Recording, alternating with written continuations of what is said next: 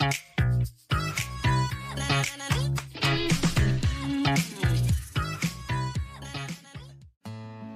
んにちは。今回のテーマは IT 業界の未経験者がエンジニア業界に転職する方法についてです。この動画では IT 業界の未経験者がエンジニアとして転職するための前提知識や具体的なロードマップについて紹介します。将来はエンジニアで高単価案件を獲得し週4日でリモートワークやフリーランスなど柔軟な働き方がしたいと思っている方にとって有益な情報です。現在は IT 業界とは全く無関係の仕事をしている方はもちろんすでにエンジニアとして働いている方も参考になる情報ですのでぜひ最後まで動画をご覧になってみてくださいね。未経験から IT 業界に転職するのはそもそも可能なのか疑問を持つ方も多いですよね。結論。未経験から IT 業界に就職するのは十分に可能です。動画の最後に未経験から IT 業界に就職する具体的な方法を話しますがまずはその前提知識として IT エンジニアに転職するメリットエンジニアの種類会社選びの注意点を解説していきます。早速 IT エンジニアで働くとどのようなメリットがあるか見ていきましょう。まず手に職がつき安定した将来性が見込まれます。IT エンジニアはずっと勉強し続けなければいけないとイメージがあるかもしれませんが実際には一度プログラミング言語の基礎を身につけてしまえば他の言語に移ることは簡単です。求人や平均給料も他業界と比べて待遇がいい傾向にあるので将来安定してお金を稼ぎたいと思っている方は IT エンジニアが一番おすすめの職業です。次にリモートワークがしやすいのも IT エンジニアのメリットです。最近ではリモートワークやテレワークといった在宅で仕事ができる働き方に興味がある人も多いのではないでしょうか。IT エンジニアはパソコンとネット環境があれば在宅でも働きやすいというメリットがあります。なので今のうちにリモートワークのしやすい IT エンジニアに転職する人も多いんですね。リモートワークで働くことができればパンデミックが今後起きたとしても働けなくなるリスクを回避することができます。最後に技術があればフリーランスとなり元手のかからない起業が可能です。IT エンジニアは独立がしやすい業種と言えます。例えば想像してみてほしいのですが飲食業で独立するとなると店舗を借りる資金厨房の機材を買う資金食材を仕入れる資金何かと初期費用がかかりますよね。ですがエンジニアであればパソコン1つで独立が可能で初期費用を抑えられます。しかもスキルさえあれば収入アップも可能となります。実際にフリーランスで会社に所属せずに働く人が多くいます。会社に縛られないので働く場所も自由です。物価の安い東南アジアに移住するエンジニアも多くいます。彼らを海外ノマドワーカーと呼んだりします。物価の安い地域に住みながら給料は日本の基準で受け取るため貯金もしやすいです。このように IT エンジニアへ転職をすれば将来性が高く自由な働き方ができ収入アップも狙えます。未経験からエンジニアに転職している人はたくさんいますし年齢も30代40代から転職を成功した例もあります。動き出すのは早ければ早いほど有利になります。ではここからは具体的な前提知識を学んでいきましょう。まず第一にエンジニアの種類を理解することです。エンジニアには大きく2種類。Web 系エンジニアシステムエンジニアがあります。その他にもありますが今回は分かりやすく解説するため2つに絞ります。それぞれで求められるスキルが少し異なるので注意してください。あなたがリモートワークやフレックスなどいわゆるモダンで先進的な働き方を目指すなら Web エンジニアがおすすめです。Web エンジニアとは LINE やメルカリなど自社のサービスを運営している会社に勤めており自社サービスの開発メンテナンスなどを行うエンジニアのことです。基本自社が管理しているサービスなので仕事は成果主義型で結果を出せば働き方についても問われません。そのためエンジニア業界でも Web エンジニア職は特に人気が高く競争も激しい傾向にあります。なので未経験者がいきなり応募をしても書類選考で落ちてしまう確率は高いです。もう一方のシステムエンジニアについて解説します。システムエンジニアとはいろいろな定義がありますがここではお客様の要望通りのシステムを開発マネジメントするエンジニアお客様の会社に常駐して働きスキルを提供するエンジニアとします。先ほどの Web エンジニアは自分の会社内でほぼ完結する仕事でしたがシステムエンジニアはお客様あってのシステム構築業務となります。正社員として会社に所属していますが実際にはお客様の会社に毎日出勤して仕事をする客先常駐と呼ばれる仕事のやり方もあります。なので最近は少なくなってきていますがスーツ着用朝9時からの朝礼などの昔ながらの文化の会社が多いです。基本的にはプロジェクトごとに人が入れ替わるため誰でも理解できるように品質の高い設計書やプロジェクト資料の作成を求められます。エンジニア未経験者を歓迎する会社も多くあります。例えば運用監視オペレーターは手順書通りの操作をする作業が多く未経験者でも十分に活躍できるポジションです。ただし Web エンジニアと比べるとスキルが身につきにくいので注意が必要です。会社ごとの独自ルールがある場合そのルールが他の会社では通用しない可能性もあります。そのためシステムエンジニアで数年経験を積んだ後 Web 系エンジニアに転職する流れが見られます。システムエンジニアは未経験者でも活躍できるチャンスがありますし研修が整っている企業もあるためどちらがいい悪いで比較するものではありません。もちろんシステムエンジニアとしてスキルを磨いて一生勤め上げるキャリアの方もいらっしゃいます。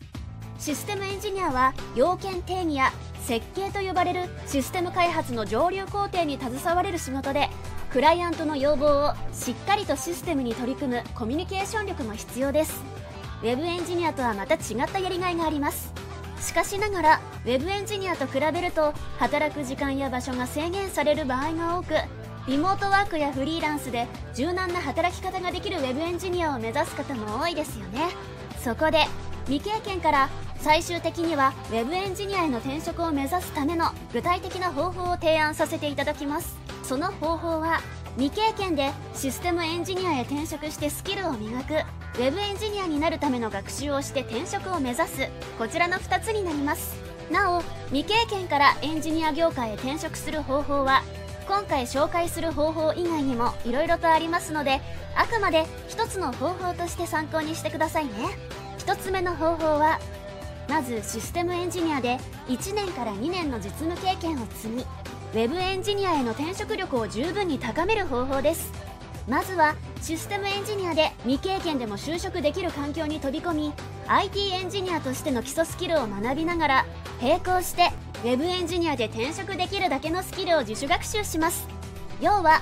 システムエンジニアで経験を1年から2年ほど積みながら Web エンジニアに求められる技術を勉強する方法です。システムエンジニアで経験を積めばエンジニアでの業務経験や実績ができるので他の未経験者と比べて採用の確率が格段に高まります。チーム開発も経験できるのでコミュニケーション力のアップや現場によっては GitHub バージョン管理ツールを使用したチームでの開発フローを経験できる可能性もあります。これは独学でスキルを積み上げているタイプの方と比べると大きな武器になります。ですが長くて2年ほどかかる方法なので確かに少し長丁場かもしれませんね。2つ目の方法は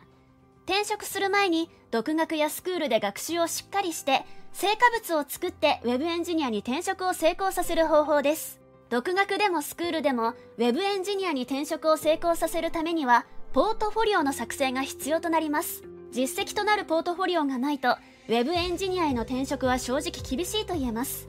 実際に独学でプログラミングを学ぶ人も多くて中には転職を成功させている人もいます。ですが独学の学習は10人のうち約9人近くの人が挫折をしてしまっている事実もあります。理由は質問できる環境がないことやモチベーションの維持が難しいことです。なので Web エンジニアへの転職を考えるならプログラミングスクールで学ぶことも一つの方法として頭に入れておきましょう。他にも転職する方法はありますが今回は2つの方法をご紹介させていただきました。どちらの方法でも最終的にエンジニアとして転職できれば業務を通してたくさんの経験が得られるためフリーランスとして独立できるだけの力も十分につけることも可能です。あなたの今の仕事をずっと頑張るのと比べてどちらが可能性があるでしょうか？今の仕事をずっと頑張ればリモートワークもできて独立への切符も手に入り将来性の高い仕事に就けるのなら今の仕事を頑張った方がいいでしょうもしそうでなければどうせ頑張るのならば少しでも平均給料の高い業界職場環境が自由な業界で頑張る方が同じ努力量でも成果が大きく違うため効率が段違いではないでしょうか今の仕事を続けても将来性がないなとか一生サラリーマンで雇われて上司や同僚との関係も辛くてストレスが溜まるのは嫌だなと思うのであればチャレンジしてみる価値は十分にあります。今の仕事を続けるか新しいチャレンジをしてみるか人生は一回きりしかないのであなたの人生にとってワクワクする方を選ぶのが悔いのない道で正解です。まとめると IT 業界の未経験者がエンジニア業界へ転職するのは可能です。しかし人気の高い Web エンジニアへ転職を目指すとなるとライバルが多いので学習など少しだけ頑張りが必要となります。勉強時間だけではなくいい教材などで勉強の質を上げることも必要です。あなたが独学だけで Web エンジニアになれる自信があるのならば独学で OK ですが少しでも不安があるのならば時間とお金をある程度投資する覚悟が必要かもしれません。でも最初のうちは自分はどういう学習ルートで勉強すべきなのかな？まずはお金をかけずに気軽に始めてみる方法はないかなと迷ってしまいますよね。それにいきなりスクールなどの高額な教材にお金を使うのは失敗した時のことを考えると怖いですよね。なので最初の一歩でおすすめの方法は無料体験レッスンに参加してみることです。サムライエンジニア塾では無料体験レッスンを受け付けています。現役エンジニアに無料で相談できるのでこれを利用しない手はありません。何事も実際に働いている人に直接聞いて今の実力とのギャップをしっかりと把握しなければいつまでたっても間違った学習方法を続けてしまい時間を無駄にしてしまう恐れがあります。